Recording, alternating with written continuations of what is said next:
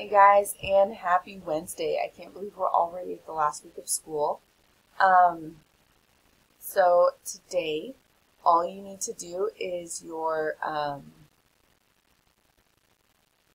what do you call it? Your, uh, you have stuff from your elective teachers to be working on, so check your email for that.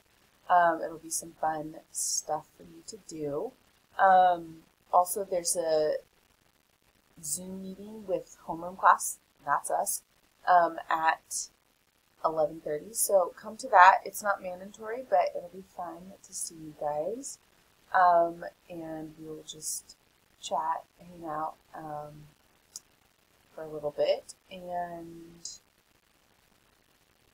that's it, guys. We are we are at the end. Um, there also is chapel today.